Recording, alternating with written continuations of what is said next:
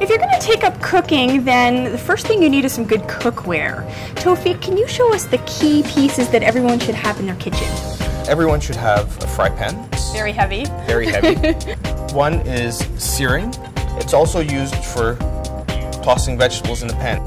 This 1810 stainless steel, Mm-hmm. one doesn't transfer any flavor, and two is very, very durable. Okay. The other pan that you should have is a saute pan, Okay, which is that one there. very similar. They look very similar. Okay. The difference being that fry pan has rounded sides. Yeah.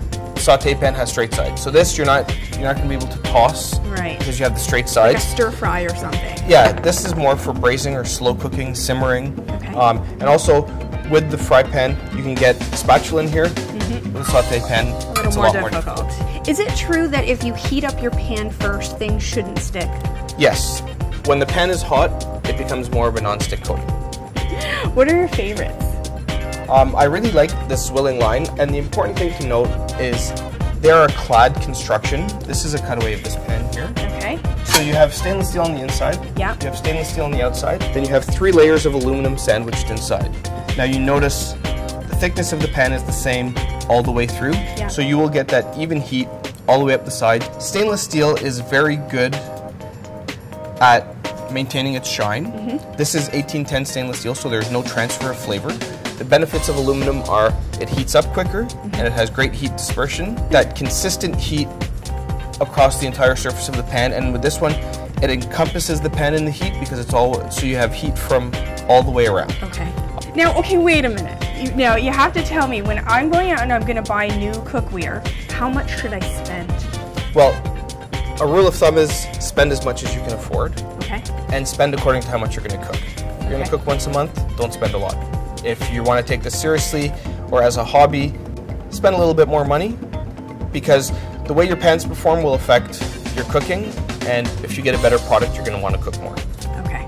Okay, now what's this guy over here? Now, this is called a saucier, Mm-hmm. and now this has sloped sides. With this pan, the whisk can get right into the corner, so if you're doing a lot of desserts, a lot of custards and things, you might want a pan like this. It's kind of like a bowl with a handle. Exactly. This handle, two things about it. One, there's no rivets on the inside of the pan, as you can see. So when you're when you take your spatula to clean out your pan, you've got nothing in the way of getting everything out of the pan. It's also better for sanitation because it's very difficult to clean around I those like rivets. that idea. Especially with something that cooks for a long time. You know how you go to pick up your pen and it's really, really Ah, hot, the handle's yeah. hot. And you Um, need your oven mitts. and you need your oven mitts to hold a pan that's on the stove. With this, you won't. Because of this V, it cools the heat, and then you have a very cool handle. Great. Now, I noticed you were using this um, stainless steel utensil. Is it okay to use on it? It's not going to scratch? The, stainless steel will not scratch.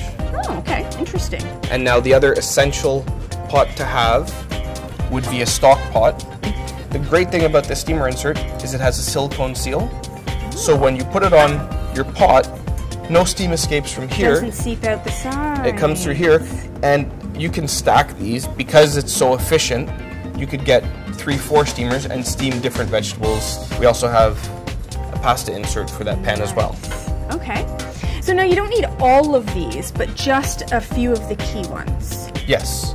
Um, you would need fry pan, your saute pan, one of these, and a stock pot. If you were me, you would you would want all of them for sure because they're so durable and they're going to last so long.